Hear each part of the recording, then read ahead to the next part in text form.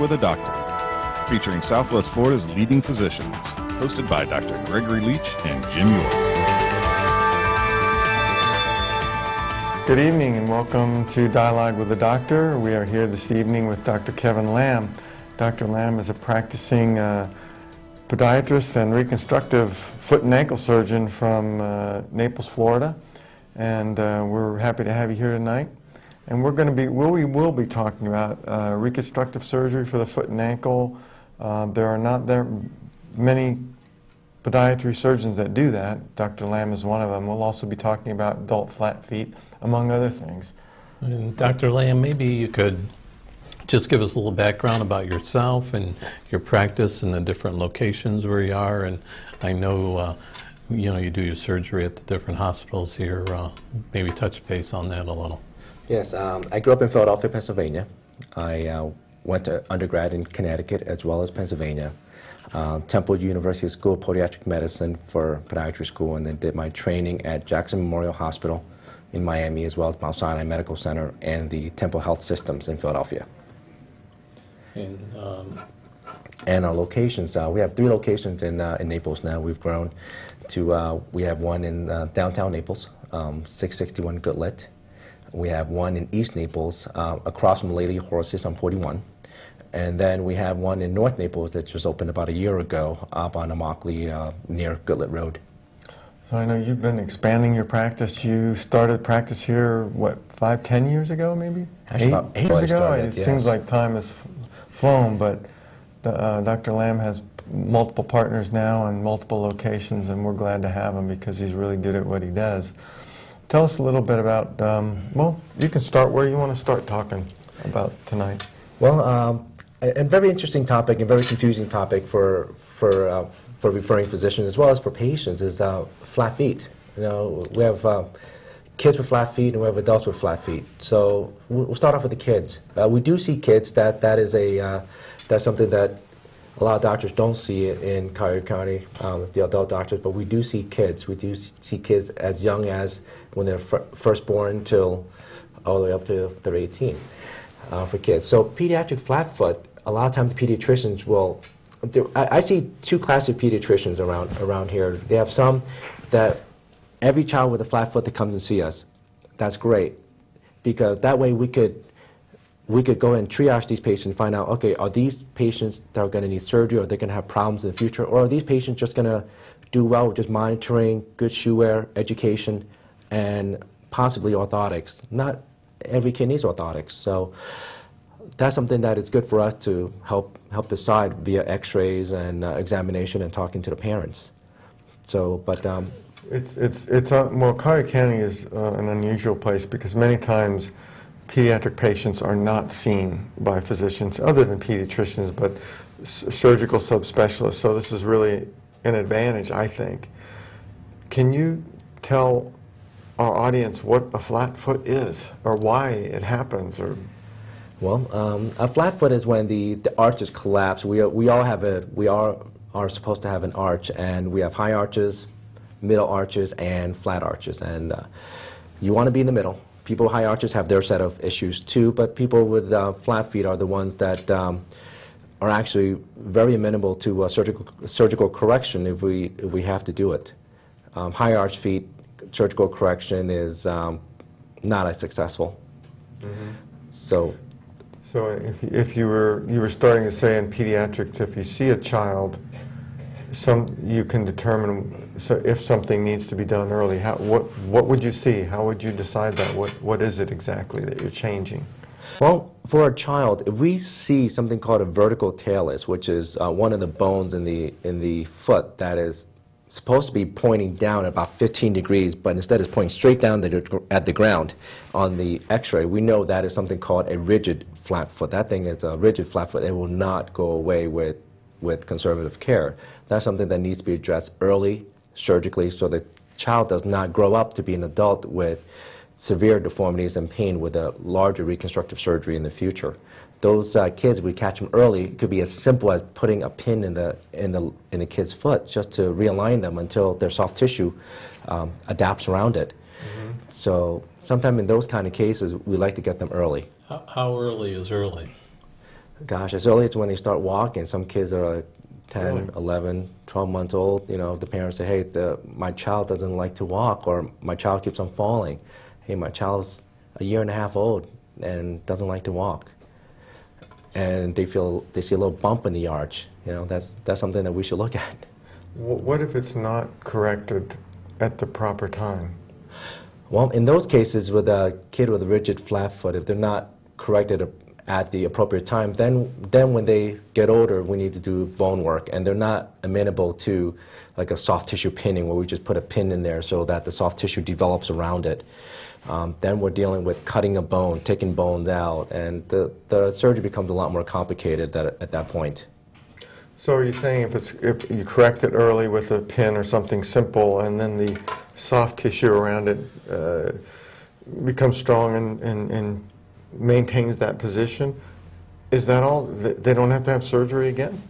Uh, most of the time, no. Most of the time, they do not uh, require surgery again, or if they do require surgery, it's something really minor, or they could live the rest of their life with an orthotic device in their shoe. So uh, one of those things, the, the quicker we get to them, the better. Um, I have a perfect example of, um, of a child, um, two, two brothers. I have a, a young brother and an older brother. The older brother is 18 right now. And um, the mother brought him in. The mother, the mother's no, this guy can't play sports or anything, and, and his foot is very flat, and he's having tons of trouble.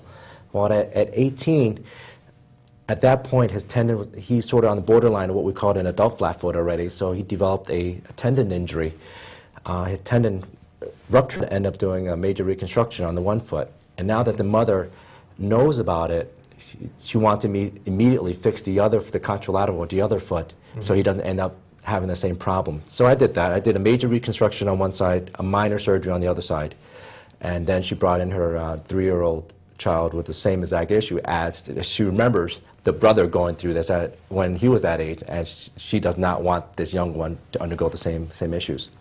So tendon rupture can occur if it's not corrected. What, what other things can happen if the flat foot is? Is it just a matter of pain, or are there other injuries that can occur? um, pain, disability. Um, you could have a certain type of ankle fracture based on the, based on the uh, position of your foot, and those can be very, very dangerous. Then we're dealing with um, ankle fusions and a bunch of uh, more complicated surgeries then. But uh, tendon injury, I mean, you could, you could deal with, we could have knee problems, back problems, hip problems for the poor mechanics as they're developing, Goes right up to the hip, all the way, All the way up. and the back. definitely. So, um, what, um, in terms of, what would somebody expect from a surgical procedure such as a flat foot procedure? What, what would happen? Well, uh, flat foot reconstruction could be as simple as we could put in a plug in one of the joints to hold every, to bolster everything up. That could be for minor cases that are flexible. It could be as, you know, a moderate one could be us putting a little bone graft in one of the bones to just shift everything into place. That's a moderate one. And then a more major one, we could start fusing bones to put them exactly where we want it. It's almost like putting a puzzle together. Mm-hmm. But the surgeon has to have the knowledge and experience and how to put this together because you have to you have to plan the cuts, you have to put them in the exact position because this, this patient is going to live with that foot for the rest of their life. We need to be able, the surgeon has to have, be able to have the experience and the foresight to know where to put this bone. And it's a day uh, outpatient surgery or?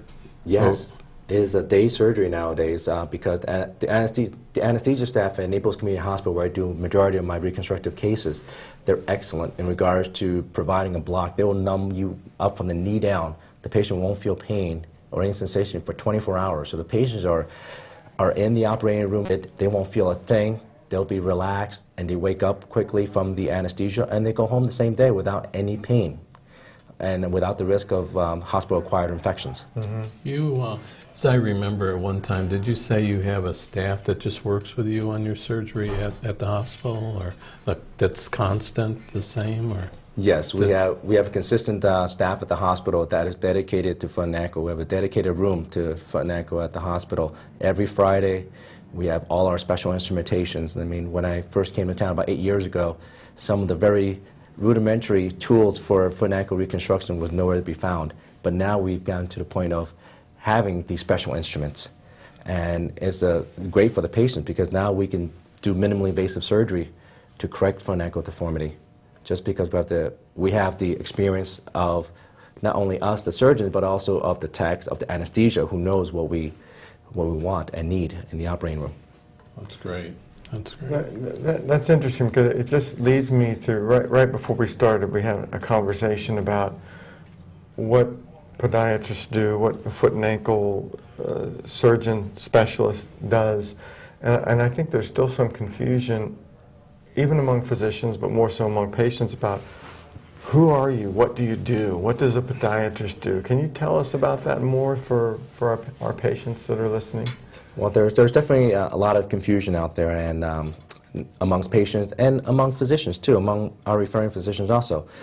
There's, in Cuyahoga County, we are very lucky to have some very highly trained podiatrists in, in this town because the hospital requires you to be at least board certified or qualified in at least foot surgery to be on staff. So the, so majority of the podiatrists here are excellent with the, with the foot surgery.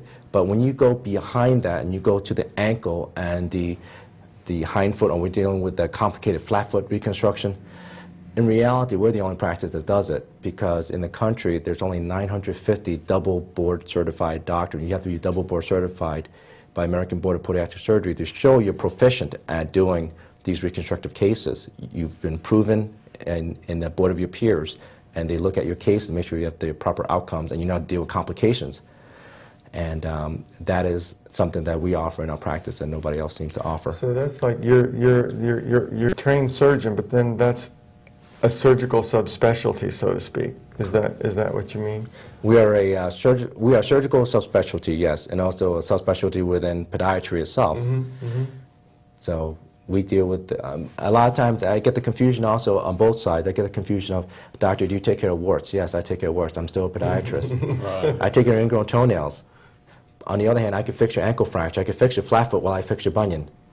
So we offer a, a whole wide array of, um, of um, treatments. For anything with the foot and ankle, we're able to handle.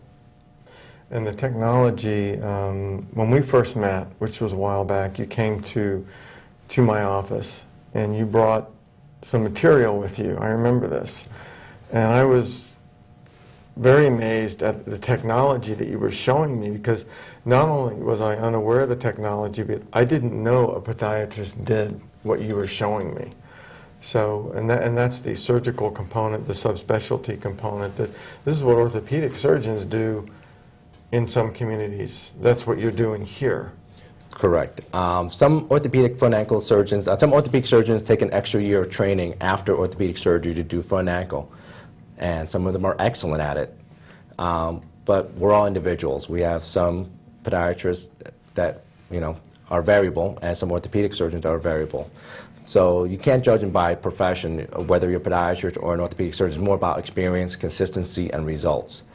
Um, and, and, I'm happy to announce that you know we've been we've been chosen, and we also have chosen a fellow next year to start training at our facility for these reconstructive cases because there is a need as our aging, as our population ages and they they're still very active. We have, we see a lot more of these wear and tear, and also reconstructive cases that needs to be done. So we are training other doctors now post residency to do the stuff that we do because there is a need and there is a lack of that not only here, but in the country. Yes. Where are you bringing physicians from to train them? Where are they coming from?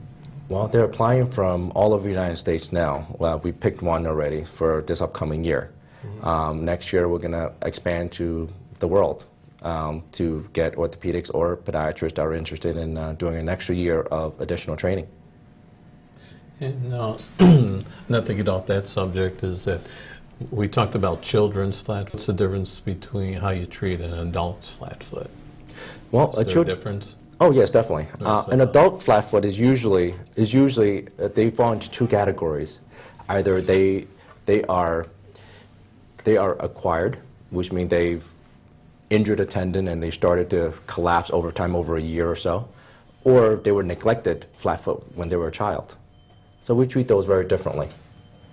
So um, in the case in the case of let's say a tendon rupture where the adult starts, pro- we call it a progressive flat foot or adult acquired flat foot. That's when they injure a tendon, they start to collapse out. Those we treat by fixing the problem, which is the tendon rupture in the first place. and then we realign the foot if we have to. If it's a if it's been long standing enough where the joint starts to fall apart, then we have to fix the joints.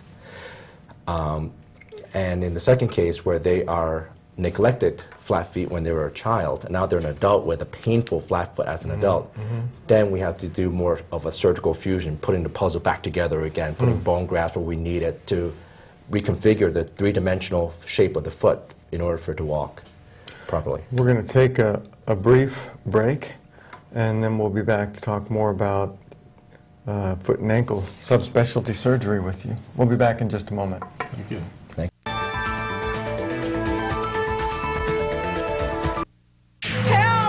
If an emergency happened right now, you can have help at the push of a button with Medical Alert. Remember when I took that fall, Mary? Oh, yes, that was terrible. Yes, it was. Help! And I thought, what if you hadn't been there? I ordered my medical alert the next day. I can't describe how safe I feel now with my medical alert. You didn't know I was wearing it, did you?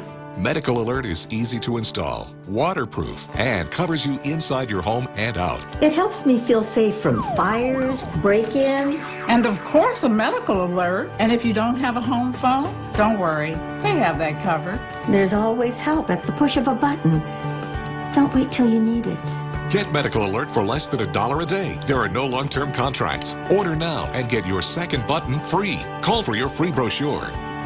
For your complete medical alert system with second button free, call 800 604 2791.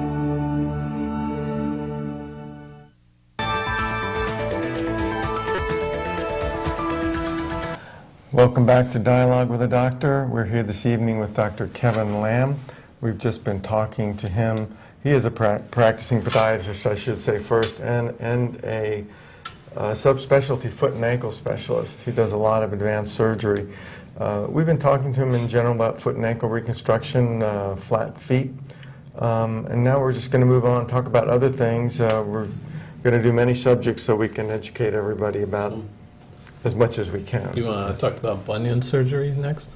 Yes, uh, bunion surgery. Bunion surgery is um, probably one of the things that people associate podiatrists with. I have a bunion, I got to go see a podiatrist. And, and, and bunion surgery also has this b- bad um, stigma to it, I guess, uh, in regards to a painful bunionectomy. You know, I always hear these stories. Oh, my friend said she had bunion surgery. I'll never, she will never have it done again. Well, it, in training, I, I see different techniques. and I've seen I've seen different doctors uh, perform bunionectomies, and and the beauty of the way we do bunionectomies, or the way that um, I do bunionectomies now in in Cuyahoga County, is that I do a minimally invasive bunionectomy where I do a five millimeter incision on the side, and I'm able to get all the correction that I need out of that, and um, and also in addition to having our own anesthesia staff and our OR staff, we're able to numb these patients up for 24 hours or more, so they don't feel the pain for 24 hours. They recover very well. Let, let's, if we could step back for a second, just uh, many patients don't know what a bunion is. Um, they think it's uh, a growth on the side of their foot, and wh- why are they there, and what are they? Well, basically, it's a bump on the side of the uh, big toe. Uh, it's received a lot of press lately from uh, the Dr. Oz show and uh, et cetera. And um, basically, it's a bump on the side of the, of the big toe. The big toe joint is it's enlarged. Uh, mainly is because it is a shift of the big toe joint to the side causing that bump. It's not because it's a growth uh, per se. It's, it's actually an angular change in the bone. A shift toward, as a patient would say, the inside. Uh, shift towards the inside, correct, or make your foot look, look, look, more like a duck feet than a regular human foot. That, that's how some people uh, describe their bunions when they come in. Hey, my foot looks like a duck's feet because it's splaying out. That's uh, what a bunion is. So we can correct that. Advances have, have happened, in it, and we've actually had modification procedures that we do that nobody else does in the whole country in regards to the technique, uh, in regards to decreasing the amount of pain, discomfort, not even pain, discomfort to the patient, and the increase in recovery. They could walk the same day of surgery now from bunionectomies. So what is a bunione- bunionectomy? What are you doing when you through this five millimeter? Did you say five millimeter? Five millimeters, that's all it takes. That's We're able to do that's it. that's that's how do you it. how do you do that? That's That's that's it. amazing. Well, now we, with advent of intraoperative uh, radiography, or we can see the bones in, in, in surgery, we don't have to open open up the whole foot just to see just to see the bone. We could see it. We could use a guide and then we can cut through that five millimeter, cut the bone, and shift it back in so that way it looks straight again. And, that, and that's how we, we take care So of that. So you're, you're just not shaving off bone, you're, you're actually moving, We're shifting. moving it back. Correct. shifting We are shifting the joint back in alignment because just shaving off the bone was an old-fashioned procedure that Yes. does not work for the long term. So you really have to shift shift the bone into proper alignment so that it ro- rotates correctly. So if you're, if you're, just to say it's bent like that, and you're shifting things back, Yes. how, how do you, how does it stay there? What do you, how do you do that? Well, the beauty is with the five millimeter incision, we make a five millimeter incision right here, mm-hmm. and we we we shift it back in place.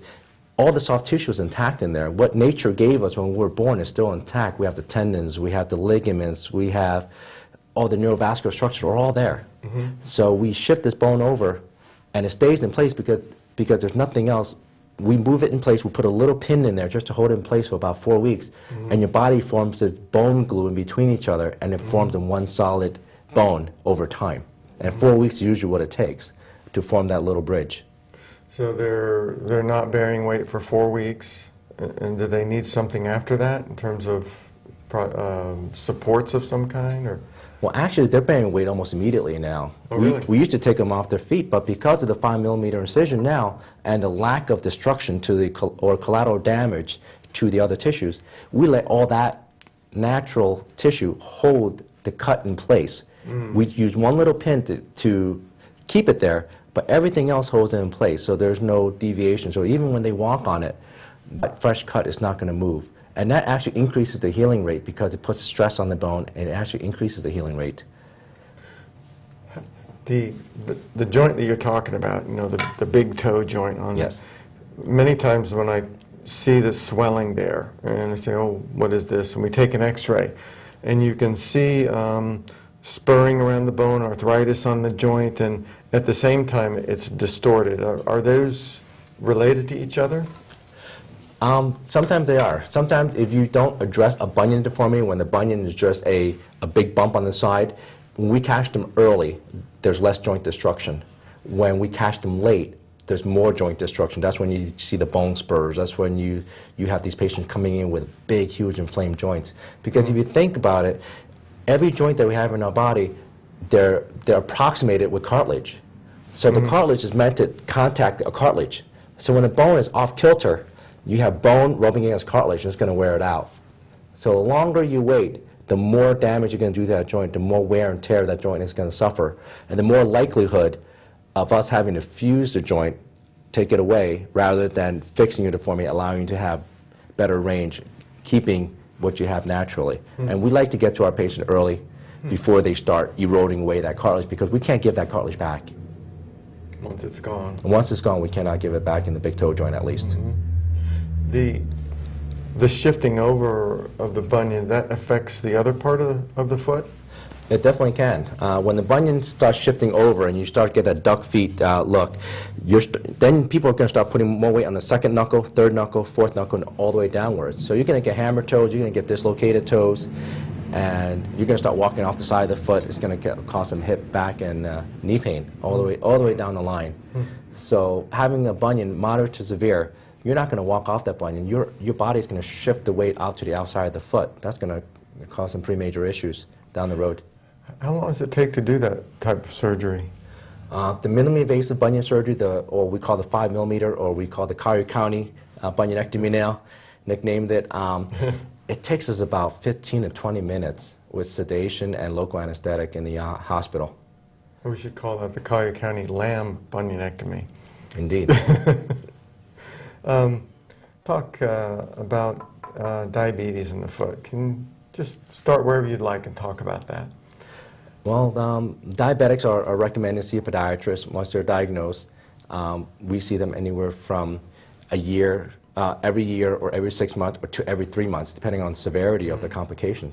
I mean, diabetes is a leading cause of amputation in the United States for non-traumatic amputation. So why is that? Because you know you have either a, a lack of circulation from your complication from diabetes, or lack of nerve called neuropathy. You don't feel, and when you get when you don't feel, you get an injury to your foot. You don't see it, you don't feel it, by the time you, you, the patient feels it, they're in the hospital with a massive infection. And then added onto that, peripheral arterial disease, I, I tell my patients it's almost like a heart attack of the foot. You get a blockage of an artery It going down to your heart foot. attack of the foot. It is. Yes, it and- is. And you end up losing a foot or a leg. Mm-hmm. And that's how that happens. So um, you also, we're not going to be able to finish this whole conversation, but you also said it costs more than certain cancers. What was it that you said? Well, a new paper came out that says the treatment for diabetic amputations costs more in the lifetime of the patient than cancer nowadays because you're talking about physical therapy, you're talking about lifetime prosthesis for these patients. And once they get an amputation of a toe or a leg, the chances of further amputation increases significantly. And the mortality rate of these patients almost double at about five years. You, you have some technology in your office that you use to help figure this out when a diabetic comes in just preventatively. What, what is it that you do? Well, first we, we uh, use our hands. We check for circulation. If we can't feel the circulation or if, if it's questionable, we have something called a Doppler. The Doppler checks the circulation by hearing the blood cells go through. If, that's good, if that's good, then we move on. We check out the nerves. We check the sensation, see if they feel me touching the bottom of their foot or using a special filament. If they can't feel that, then they run into a high risk field, high risk assessment field. Then we need to see them every three months to make sure they don't get an infection, make sure there's no irritation. Get, um, the insurances will pay for a special shoe and inserts for these patients so that they don't get um, irritations or infections because that is very costly when that happens. Yeah, once it's already there. So you, you can detect something or an irritation early so that you can then protect, protect it without it into a catastrophe. Definitely, Yeah. definitely. Uh, prevention is the key in this. You use ultrasounds to look at the foot as well? We do use ultrasound, but that is, uh, we use ultrasound to check the arterial flow. We Okay. look at the flow of the arteries coming down. We use ultrasound to diagnose um, a, a ganglion cyst, stress fractures. We use ultrasound to help guide our injections to our targeted tissue. So we have a lot of technologies in, within the office that patients do not have to leave the office to get. Yeah, I've, I've been surprised by what you have in your office, or at least from what I've been told. I have not been in your office yet, but I'd like to see it someday. Um, what? We're, we're well, we're, we're we'll be running out of time in just a second, but um, we want to thank you for coming, and we, we, we'd like you to come back and uh, talk more about some other subjects on the foot. We've talked to your partner, is it Brian Tim? Yes, Brian Tim. Yep, we talked to your partner. We learned a lot from him, and uh, once again, we thank you for coming. Thank you for inviting me. I'd like to have you come back. So, Definitely. yeah. Yeah.